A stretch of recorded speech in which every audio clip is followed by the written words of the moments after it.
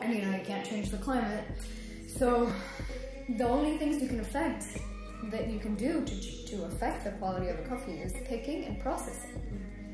And so I'm like, you already have three out of the five, like, and the two that you you you can affect, you can do it yourself. Like you can you can ask your pickers to pick well by paying them more, they will do it.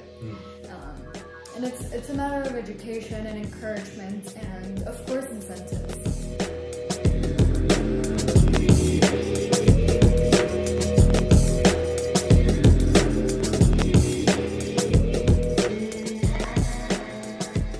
Welcome to or welcome back to Coffee with April.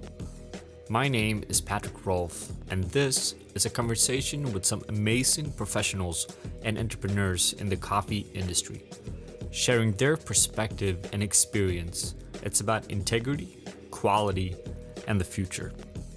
For this conversation, we met up with Nadine. Nadine is the founder of Primavera, previously Third Wave Coffee Source. They work with exporting some of the most amazing Guatemalan coffees you can find, and I personally have had the pleasure of visiting farms in Guatemala together with her. This is a truly unique insight in coffee farming in Guatemala. Awesome. So we're in London once again, uh, London Coffee Festival. So there's a lot of professionals in town. Uh, with me now is Nadine from former Third Wave Coffee Source, now Primavera. I'm gonna let her explain about that whole, whole journey and trip and what that is. Um, basically, if any of you are interested in Guatemalan coffee, this is the girl you should talk to, right? so tell us, what is Primavera? So Primavera means spring, um, and Guatemala is known as the land of eternal spring. So we thought it would be a very good transition from our old name, and you know, it's been six years now, so we're doing a little bit of rebranding. Um, so Primavera seemed to be a perfect fit for explaining Guatemalan coffees. Mm-hmm. And uh, the rebranding is that because times are changing in terms of the, the coffee industry, or is the, the, the company changing, or what is the kind of main motivation for for doing that? Well, the company has grown from from the early beginning, the early stages, um, and yeah, so it just seemed like the appropriate time to to do a little bit of you know spring cleaning. Spring cleaning, that's a good thing. I think that I think that's a very important part. Like it's, I'm obviously a bit too uh, early in my whole process, but I'm, I'm looking forward to doing that as well. At Yeah. one point. Um, a lot of things has changed. Like we met, we met a couple of times before. Uh, I was in Guatemala, Yes. which was an amazing trip. uh, still remember that trip very well. Um, we met in Berlin during my time at 5e, you know, all of that. And basically, when I first met you, you were basically running this whole thing by yourself. And you did that for a pretty long time as well, which is kind of impressive. Do you want to share just the whole, like, how did you get into this? What is the main motivation? What, what is your personal background? Sure. Um, so I grew up in Guatemala, and my family have had a coffee farm for four generations. And obviously, when you grow up in that, you you don't want to do what your parents did. So immediately, I was like, "There's no way I'm going to be in coffee." So I studied finance in London, and then I worked at a hedge fund. Uh, I did have interest in coffee, but more um, I was curious why so many of the coffee shops in London had specific farm names, and a lot of the places I'd known, like Finca La Perla, Las Nubes, I'd known those farms from from growing up, Yeah. um, and so I was working in a in a commodities fund, and it was in 2011 when the coffee prices were at the highest they've ever been. And I just remember my dad being so excited about the prices, and I just didn't think it was sustainable. And and then the prices dropped, and then I realized that the only way that you could have stable prices for for coffee was with quality. That was the only way you could justify. Um, and it just seemed very inappropriate that people that had nothing to do with coffee were actually moving the price of coffee just by betting on the stock market, um, on the futures market. So it just seemed like the appropriate thing to do, and um, I started to get interested. I'd previously done an internship at Starbucks at the purchasing headquarters. Okay, cool. I didn't know that. Uh huh. When I was 19, so 10 years ago. Oh wow. That was my first real job in, in coffee. Um, I was ahead at, at university, so I, I took a year off and went six months to, to Starbucks to work in every division that they have, um, which is, is very interesting because it's a very structured company. Ah, they cup everything. Yeah. They actually buy quite decent coffee. What they do Yeah, after sure. roasting is a different story, but. Fair enough. Yeah. Um, so yeah, they do all of the logistics from there, Yeah. uh, all of the purchases from there. Where, where, where is that? Is that from Seattle or from? no, in Lausanne, in Switzerland. Ah, okay. That's super cool. I, I didn't know that. Okay, so you've been through Starbucks, which is obviously a good experience. Um, you saw the commodity side of things as well. How, like, where does the idea of, of uh, especially come from? Like, what? How did you learn what quality coffee is, and that's and how did you? Were you always interested in you know can coffee taste better, or was that more uh, coming from a kind of a business perspective? I, it definitely came from a business perspective. I um, after the hedge fund, I worked at Mercanta um, Yeah. just to make sure that it was it was a step in the right direction. Yeah. Um, and I was there for um, just just short of a year. Okay. Um, and then that's when I decided that I that I should move back um, to Guatemala. Yeah. And I was there for uh, one harvest, the first harvest, and it was so interesting. Um, and then coming back here and seeing full circle what the coffee was produced and um, how to process it and then mill it and ship it and then have it served in the in different cities in Europe that was very rewarding so from that year um, I think it was it was a very good experience the first year so it went on like that from there Yeah.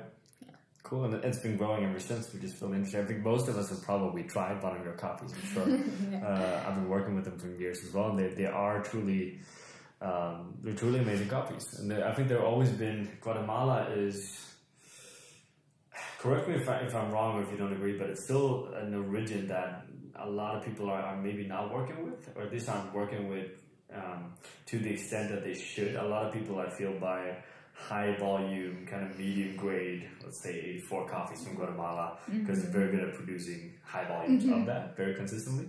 But they're maybe not looking at Guatemala for the like top lots, right? No, I fully agree with that, and uh, there's I think there's a few reasons for that, and one of the main ones that we see is that most of the coffees that are very high scoring come from Huehuetenango, Yeah. and it's a very remote region, and people there are used to just selling the coffee to the local coyote that pays that is that is mixing all the coffee and pays the market price for it, and then there's no incentive for for people to pick or for them to keep the plantations um, at, at their optimum. Um, so that's where we saw a huge opportunity gap that that we wanted to take. It, it's as I said, it's very remote. It takes ten hours to get to most of the farms and and horrible roads. Um, and it's taken us five years to get the trust from from most people. Um, it's uh, Guatemala has quite a turbulent history with a civil war that lasted 36 years and Yeah. still a lot of trust issues. Um, So it's taken us a while to get people, you know, on board and and to understand that in order to produce quality coffee, they have to invest back into the farms, into their mills. Um, they have to pick properly, and the post um, harvesting process is, is very very important. How is how many how many farmers are like in general when you approach a farmer are they interested in doing the extra work that comes with specialty like are they, is it something they're excited about? We hear continuously in, in other origins that the average age of a farmer gets higher and higher and higher and there's mm-hmm. really no young kids that wants to jump in and, and do coffee farming. Is that something you feel in guatemala as well? Yeah, one of the major problems in Guatemala is actually immigration to the states Okay. of the younger of the younger generation. Yeah. Um, so we have a lot of cases where the producers are getting older and then the kids they're abroad. Yeah. We're starting to see a lot of people coming back, Hmm. voluntary or involuntary, Okay, but sure. they're they're back. Involuntary as well. That's interesting. Mostly involuntary. Okay. Um, so they've been sent back and they have no choice but to look at their parents for, for work. As in, as in sent back that they're not allowed to be in the States anymore. Um, but we're we're we formed a or we sponsored a cooperative this year. It used to be an association that became a, a formal cooperative this year of young people. So they're they're from 24 to 35 year olds that are in coffee. Okay. So this is one of our um, new projects and something that we're really excited about because um, we've managed to get the younger sort of generation interested in, in growing specialty coffee, not through the farming itself, but through roasting and through processes. Okay. So um, part of our team in Huehuetenango is three young guys. They're Yeah. all un- under 25. Um, and actually, Jose, that works with us, um, he's the president of, of this organization. It has 27 members.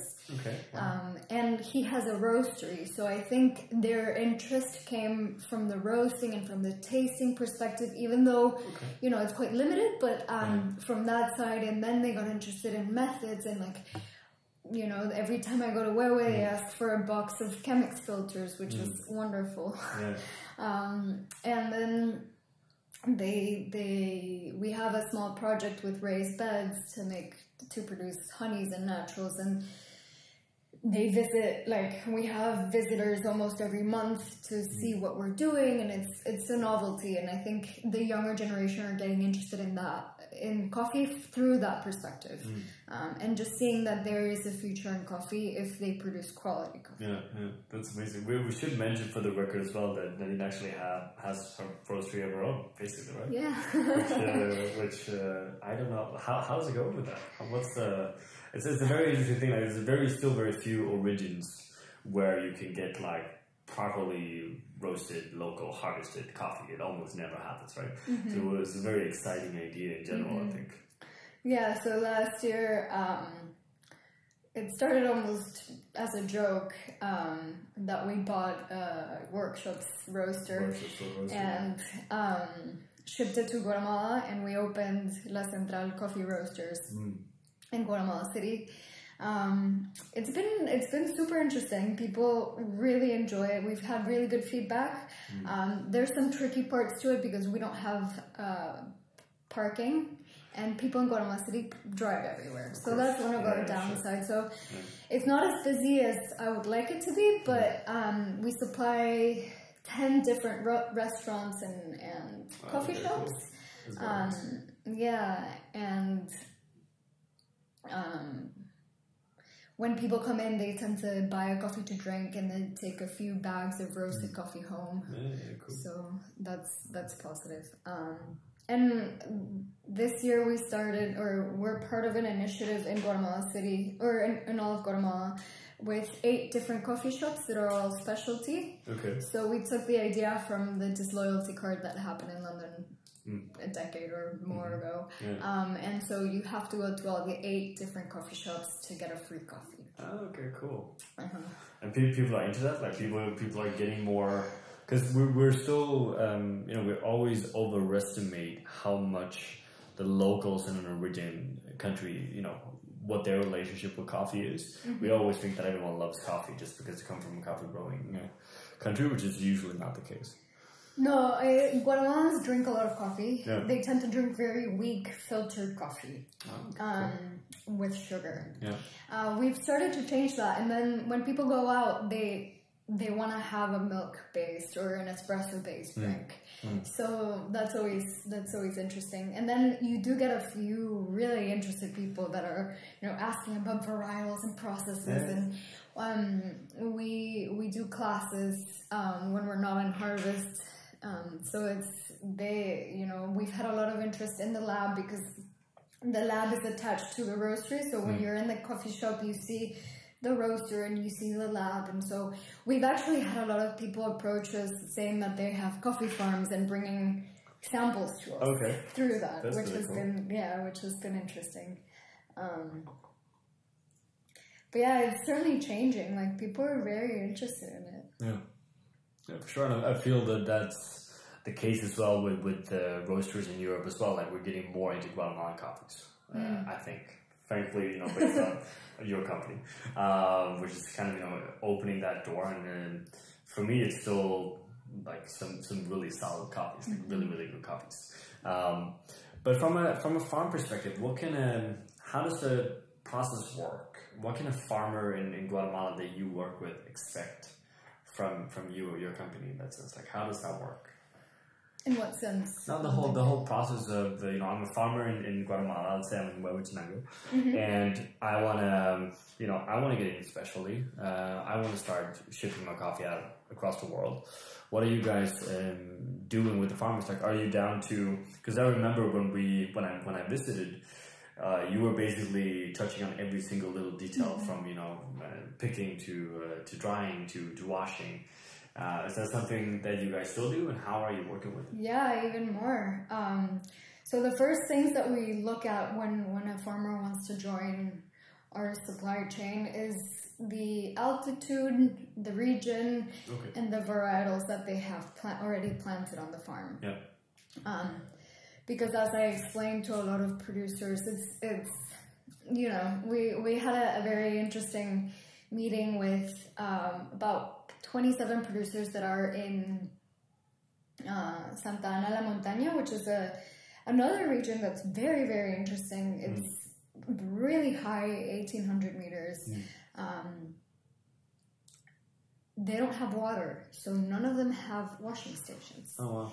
Um, they just sell the coffee in cherry to whoever drives by and at a very low price. Okay. So we came in and we're like, this is our proposal. Yeah. Pick well. Yeah. We'll pay much higher prices. Yeah. No, we can't do that. Like that's that's just not going to be possible because we showed them the different. You know, we picked a few beans and showed them what we wanted, and mm. they're like, "No, like we can't with our pickers. It's not, it's not going to work." Yeah. So we we really encourage for for that to to work, and we, and the only way you, you do that is through monetary incentives. Yeah. And then it turned out that not only 27, but it turned out that like more than 40 producers um, delivered cherry to us this year. We have a mill that's about an hour away, so we actually sent a truck up every day to collect cherries. Okay. Um, so that was an interesting project that we started this year. And as I explained to, to these producers, like, take advantage of what you have because you're at a really good altitude. You have good, good quality plants. Yeah. Um, you know, you're in a microclimate that is perfect for growing specialty coffee. Those three things are out of your control because it's very difficult to change where you are. Yeah. Sure. Uh, planting new varietals, yes, but it takes you know at least seven years It's a long for the new crop. Um, and you know you can't change the climate, so the only things you can affect that you can do to to affect the quality of the coffee is picking and processing. And so I'm like, you already have three out of the five, like, and the two that you you you can affect, you can do it yourself. Like you can you can ask your pickers to pick well by paying them more, they will do it. Um, and it's it's a matter of education and encouragement, and of course incentives. You, you referenced uh, altitude and varietals that you're looking for a farmer to get. Do you have any examples? And does that differ from different locations in Guatemala, or are you still looking for similar altitudes? No, because Guatemala is very small, so Yeah. so it wouldn't like we're looking for sixteen hundred and above. And above. Okay. Yeah. And the highest uh, altitude would be. The highest that we've found coffee at is two thousand one hundred meters. Okay. And what kind of varietals are you usually looking for or harvesting in Guatemala? The Bourbones, Caturras, Catuais, um, we found some good Tekisic, típica, but típica is hard to find these days. Yeah, sure. Um, hard to find anywhere. Really good, but hard to find. Mm-hmm. Sure. Uh, how is it with terms of um, like looking, talking with with uh, farmers around the world and major roasteries around the world? There's a lot of experimentations now with, with new varietals, or you know whether it be Geisha, SL28, or H1. Like you know a lot of these kind of new funky stuff. Are are you guys involved in that as well? And and what is your perspective on? we have these new kind of categories of coffee that people refer to as, as competition coffees, right? Uh-huh. Which is basically crazy expensive coffees for whatever reason that most of the times maybe doesn't taste um, or has a taste quality that justifies the pricing. What are your kind of uh, opinions on that? We we encourage our producers to yeah. have different strategies for their farm. Okay. So um, back to the, the question that you previously asked, um, we support them with technical assistance. So yeah. we have two agronomers in Huehuetenango that visit all of our producers on a regular mm. basis and suggest things because we can't tell them what to do. We can only suggest. Yeah. Um, in terms of new varietals, we we encourage people to experiment with, for example, geishas or whatever varietals they wanna mm. they wanna have. Uh, we actually provide them with the seeds mm. if, if they want that. Um, however, the strategy that we sort of recommend is three different has three different aspects. One is for them to be aware of specialty mm. and to know that not their entire crop is not going to be specialty. The mm. beginning and the end will yeah. always have, you know, it won't be as good as the middle part. Yeah. So the the strategy that we propose to them is that they have specialty, mm. commercial, yeah. so the beginning and the end, and you know sell it locally or to another exporter, mm. um, and then to have either certification. So if they have you know fair trade or rainforest or mm. something else, just in case. You know, you never know what can go wrong with the weather or anything, so they they can have those three strategies. Mm. Um, and with with the new varietals and things like that, of course, we never recommend them to take everything out of the farm and, and start planting just geisha, for example. Sure. Um, it's it's tricky to say because, for example, geisha is a very bad producer. Yeah. Like it's the worst yielding coffee mm. tree yeah. ever. Um, and so, unless you're at a very good altitude and have certified seeds, then and have a guaranteed market for that coffee. Mm then it won't make sense to plant that. Yeah. So it's it's a it's a tricky combination between um, yields, prices, and and sort of the sustainability of the farm. Yeah, you mentioned um, just to go back a tiny bit, which I know it's a touchy subject as well, but when you uh, counted up the, the certifications, mm-hmm. you did not mention organic certification, and I know that's uh, that's a that's a very important question, and um, it would be awesome to just get your perspective on that because I know a lot of roasters that are traveling around and they're basically just pointing, you know, make this organic, make this organic, make this organic, whatever that even is, whether, whether it's passive or active organic, doesn't really matter. But a lot of them are probably not understanding the bigger picture here, for hmm. example. And I know Guatemala, for example, is an region where organic is just not going to be on the table anytime soon for, for several different reasons. But could you just walk us through that?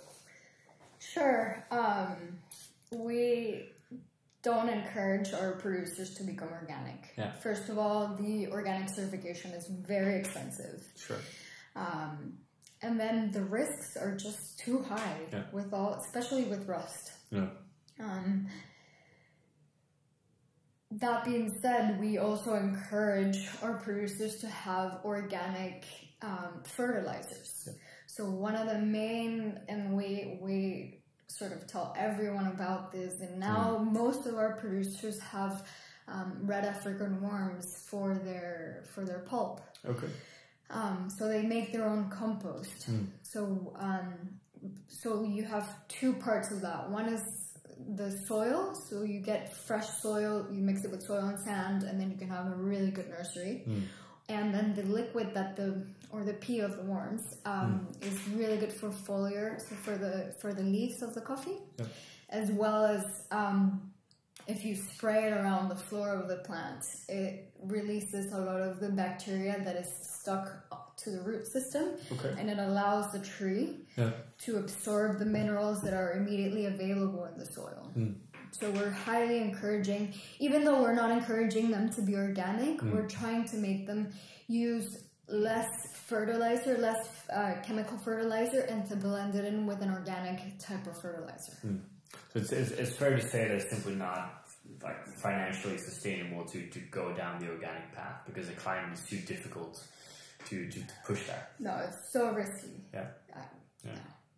On kind of on that same subject, I feel more and more among my kind of grocery uh, colleagues around the world that we also have a tendency to go around and then suggest you know different processing styles and different ideas about, about stuff, which is I know cases where that has been extremely devastating for a farmer, where, where you know Eu- European roasters, not mentioning any name, travels over and they say, okay, this season I want this process like this, I want this and this and this. The farmer would actually end up doing it, and then the roaster would come back, would taste the coffees, and they would say, I don't like any of these, I'm not going to pay for it.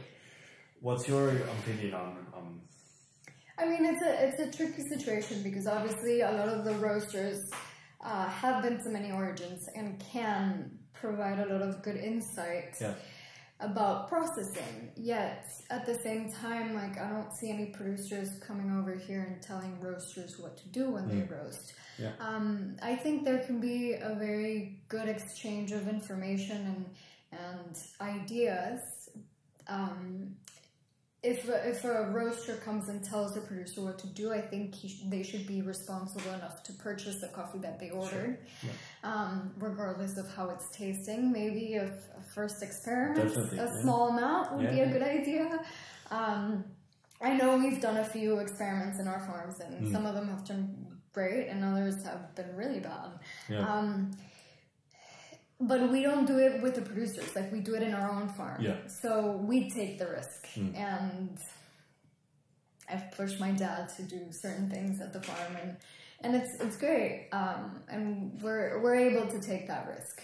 That's the other thing. Like the producers have to be responsible for themselves and say okay we can take the risk. We can do 10 bags of a natural. Nothing's going to happen. But if your production is 20 bags or 50 bags that's a big percentage. Yeah, no, of course, and it's um, um, it comes down to responsibility in that sense, right? Which Yeah. uh, we, we perhaps need more of, uh, more more direct and maybe more relevant. So, you guys are in London, um, obviously going to do some cuppings, I presume. yeah Yeah, cool. Uh, what are we? What can we expect from the harvest this year in Guatemala? Like, what are we? Um, both like this harvest and also in general, is, is coffee from Guatemala ta becoming better? What's happening? Like, what's the status of, of Guatemalan coffee in general? Oh, it's it's interesting because when I when I started in 2012-13, and that was the year that rust hit Guatemala very very hard. Um, so every year has has been very different. A few years ago, we had a lot of rain during the harvest season, which shouldn't happen, which meant that a lot of producers had a hard time drying the coffee because most of the coffee sun dried Yeah. in patios. Um, and so we saw that the coffees were aging quickly, and then last year we had a terrible drought, which meant that um, a lot of the cherries dried on the tree because the tree didn't have enough water for them to go, to mature. Yeah. Um, so we got a lot of coffee, especially at the end of the harvest, with a lot of Quakers. Obviously, that we had to we had to reject, and then this year we're still seeing the effects of the drought from last year. So Okay. a lot of our producers have uh, lower lower harvests by 30 40 percent. Is that could that be, for, for example, it's a, it's a similar situation in Kenya this season, but normally that indicates also um, a much much better harvest in terms of quality. Is that the same thing in Guatemala? I would say so. I think um, the harvest was also really late this year. Hmm. Um, we had really cold weather in December and January. Yeah. Um, and so we're only now. This week we still received offer samples and people are still Oh, yeah, picking okay. and um, so it's it's hard to say the the coffees are really fresh. I Yeah, think sure. they're they're much better than last year. Um, as I said, the the quantities that producers have are, are lower than last year. Um, but what we're seeing for the new year is a really good preparation on the trees, and we've already had good rains. So I think next year is is going to be better. And I don't know if a lot of people know, but coffee tends to be a biennial crop. So you're good or you're not so good. Yeah, sure. Um, but yeah. How, do, how does that lower harvest translate to? Because again, referencing Kenya, uh, for lack of a better alternative, what we at least like to think there is that okay, so the farmer is producing less cherries, uh, the quality and taste goes up, the farmer gets more money for those cherries, and everything kind of evens out. out. Is that actually true, or is that just bullshit? From from a Guatemalan perspective, like is it is it will this mean that the farmers will have a very difficult year, or can the quality of the coffee actually compensate for the the lack of volume? The the quality of the coffee, of course, gets a, a premium. Yeah. Um, I'm not sure if it's if it's getting you know it gets way above the market price, Yeah. but with the market price being so low, I don't know if if the price difference is gonna uh, make up for the forty percent loss that Yeah. most producers have. Yeah, for sure. So it's going to be a very tough. I mean, it's certainly much better to produce specialty coffee because they will receive much higher prices Sure, for their coffee. Um, even though they have lower yields in their farms, Yeah. uh, it'd be much worse if, if it was a commercial coffee. Um, on, on a different note, so as I said, I just had uh, James Hoffmann here, and we discussed, or he discussed, or mentioned something interesting, uh, which we're kind of been touching on as well, because he's arguing that we're seeing a big gap in the market now mm-hmm. because we're traditionally kind of went from you know selling all of the coffee the same, not really separating, doing anything, and then now we're in a climate where most groceries goes in and we're hunting these really good micro lots, mm-hmm. right? Everything else we don't want to touch, mm-hmm. and he sees an issue with the kind of in between coffee, which is somewhere between you know. I guess some people call it premium coffee or whatever you, you, you want to label it, right? But as in, it's not sustainable because we're not focusing enough on the full range of coffee. Is that something you would agree on? What an opinion on? or- No, I think um, the beauty of the coffee industry from from the production perspective is that everything is sold. Yeah, We sell everything, even Amazing, natas, seconds, yeah, even the the cherries that are Yeah. still on the tree that we dry as naturals and Yeah. sell for, of course, at a much lower price than than anything else. But Yeah. everything is sold, okay. um, and and I, I understand his point, uh, but I think that can be very focused on very specialty London roasters. Yeah, Uh, we have a market for for everything. Uh, most of our coffees that are in that range tend to go to New Zealand, for example. okay. Um, but we've been having more and more requests from European roasters to have much bigger quantities Yeah. of 84, 85 really good solid coffees Yeah, um, for their espressos. okay, amazing. Let's uh, let's move on a bit. We talked a lot about coffee.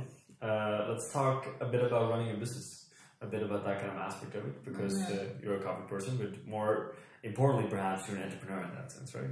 So you did move in, decided to start a company. Uh, was that important for you to start a company, or was that, as you mentioned before, kind of a I saw the opportunity in the market and then I then I went for it. No, I think um, I come from a family of entrepreneurs, really, and I think anyone that lives in a, in a you know in a producing country or in a less developed country will will understand that uh, in order to survive, you have to have you know a few different interests. Um, so my my grandfather, my my dad, and and his brothers have all been entrepreneurs in several different um, businesses, and so I I think it was. I think it's in me. I don't know. Yeah. Um, my sister as well just started her own company, so Oh, yeah. So I think it's it's in it. It's in the family genes. No. And now you've been like, what's been the most difficult part of, of running a company, right? Or just you know, we're obviously a lot focusing on the on the green coffee side of things here, but it's still you know getting the word out there, getting people to know. I don't know how much coffee you uh, you do these days. I'm not sure if that's even relevant, but has it been been challenging to turn it into a, a sustainable business, or was that easy? No, no. I mean, everything you know, everything that's worth it is hard. I think anything that um, Fair enough. that you're really passionate about will look hard maybe from an outsider's perspective yeah it's been a lot of hours a lot of hard work a lot of everything Mm. but when you're passionate about something it doesn't feel like work it just feels like my life that's just True. that's how it is um, but yeah it it grew we initially we started with an importing company based in the uk Yeah. Um, and then a few years ago, we opened the exporting company, and now we have an importing company in the US as well. So it's, um, and we grew from just me to now 11, 11 people. So yeah, it's, it's fairly interesting, especially because we do, you know, not only the importing side of things, but then the exporting and the sourcing, and we go really deep into every single producer. We have four different warehouses. We mill all of the coffee. It's it's a lot of behind the scenes work that unless you've been there doesn't necessarily translate. Um, or most people don't fully understand or appreciate what's behind the green coffee that we sell. Sure. Definitely. And now you're going into, so you're in a rebranding stage of your business, which is exciting. Uh, before we're going to talk about that, let's talk about okay, you go from you being yourself to basically the company being 12 people. How much of that changed your kind of, uh, not everyday life, but, but your own position in the company? Like, do you still do the things you did 12 years ago or 10 years, or the, where are you now in that sense, right? Have you, have that changed a lot? Yeah, I mean, when we first started, I used to roast everything. I used to, we get all of our samples in parchment. So I used to dehull and select and roast and wash the dishes and, and all of that. And now, no, now we have, you know, um, Sined, who's our lab manager in Guatemala, who's great. And he fully takes care of the lab and all the samples and um, I used to do all of the exporting. Now we have a team of, of logistics. And, Yeah. and same with, you know, with finances because we're, um, this year we are representing around over a hundred different producers. So it's getting to be, um, you know, quite It's a different kind of business, yeah, for sure. And now you just uh, very recently opened up an office in Amsterdam. Mm-hmm. That's exciting. Yeah. What is the uh, what's the uh, the idea with that? Like, what do you hope that that brings to the to the business? Well, because I was based in the UK, I think our our UK um, market share is quite good, and I will continue coming here because I recently moved back to Guatemala because it made more sense for the business. Um, and yeah, no, I I really like the two people that um, we've hired. They started working with us in in January, um, and they're both from Amsterdam, so it just made sense to open an office an office in Amsterdam. Um, we hope to grow our European market a little bit more. Yeah, of course. And then the World Championships in Amsterdam this year is going to be a great Uh opportunity. huh. Well, that was, that was lucky. This should be launched before that as well. Let's uh, let's see if we get to that. Um, cool. Just to kind of a di- different kind of uh, path again here, but from what I see, which is maybe not maybe not true, but what I see the same as in the roastery world is that I'm getting you know there's ten new roasteries starting every single week basically, and the the challenge there is something that I'm really interested in because I always worked under the assumption that, or when I started April, it was important for me to buy from from one supplier, right? So if I have one country, then I will buy from that uh, exporter, importer, farmer, whatever you call it, uh, continuously because I saw a lot more value in that. But what I see when I look at a lot of other roasters when I do consultancy is that okay, this season we're gonna buy like two Guatemalan coffees here and then two Guatemalan coffees from someone else over here. Uh, what's your kind of opinion about that? Because I'm trying to, I'm trying to argue that everyone should buy from this one supplier because it makes a lot of sense, both from quality and also financially. Uh, still, some people still need convincing, and I figure it would be interesting to hear your input on that. Like, why, why should the people only buy Guatemalan coffees from you rather than buying it from a lot of different people? Like, what's the benefits from that? No, I think roasters should have um, the more options you have, the better, no? Okay, that's interesting. Because you know you want to get your best, the best coffee. From our perspective, Mm-hmm. we really appreciate when roasters buy year after year the same coffee because it helps us with projections of purchases for the new harvest Mm. Yeah. and things like that. Um, but I understand when you know I I, I highly appreciate. Um, the consistency and the support behind a more sustainable approach of buying the same coffee year on year.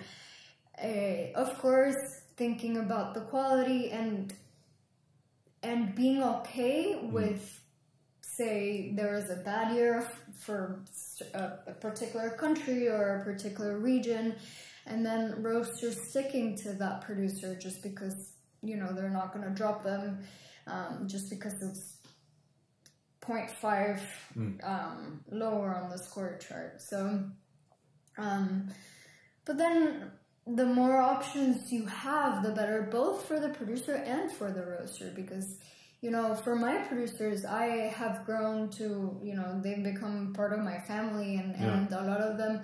We've gained so much trust from them, and, and they, they really like and appreciate working with us. And um, of course, some of them have been approached by other um, specialty exporters sure. and things like that. And it's it's really a free world, and in the end, we just want to be the best option for them. And and if there's someone else that's better, that's wonderful for them. I mean, I, I don't own them. I don't own the roasters either. I don't. You know, it's a free world, and and um, we want to support and and the whole point of us being there is to in order for producers to get a better price a better appreciation for the coffee and for the work that they do and we always hope to be the, the, the first one there and the one with the highest price. And so and that's sort of um, been the case with most of our most of our producers.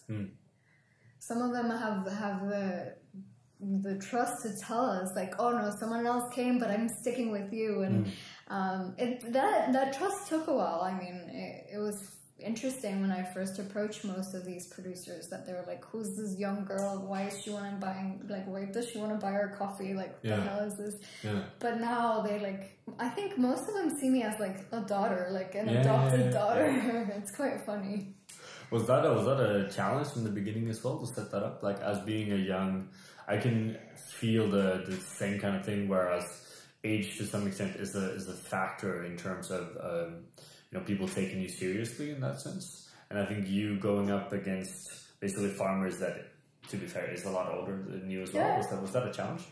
Um, I think so. At the beginning, it was a challenge, and especially in a in a country that you know is is quite macho and, and all Sure. of that. Um, Yeah. and when I first started, I was like, no, I'm gonna do it on my own, and blah blah blah, and I'm, I don't need any help from anyone, and they just have to take it as it is. But then I realized the smarter thing to do was when I was first introducing myself to a producer was always to bring my dad along, um, Okay. just to, to build that trust. And a lot of people know him because he was president of Anacafe for three years. So i- i- if they haven't met him, they've seen him on publications and Sure, things like that. So. So they were always excited to see him, and, and that was at the beginning. And now, um, now they they, they see. And You, no been around long enough. Yeah. know. Um, but then we do we do have some some producers that we've sort of stopped working with because it's not enjoyable because you know maybe they're a little bit too sexist and they don't so it's not an enjoyable process. And I, Yeah, I don't I want this to be as I said it's my life. So Yeah. I want it to be as enjoyable as possible. Yeah. so um, whenever we go to where where we either stay in their houses or eat in their with them, so it's it's less of a business and more of a of a lifestyle, like a coffee lifestyle. I think that's amazing, and I think that's a that's a pretty good note to wrap it up as well. We need uh, well Nadine is food. Basically she flew in this morning, and I forced her to do this podcast, which was very nice of you to come. Oh, thank you. Uh, where can uh, if anyone wants to buy Guatemalan coffee from you and doesn't already, how did they reach you guys? Where do you where do they find you? Um, well, our new website is primavera.coffee. Um, and we're actually launching a really cool video tonight Amazing. before the before the um, before the coffee festival. You can reach us there or on Instagram or, you know, all of that. Super cool. Thank you very much for being here. no, thank you, Patrik.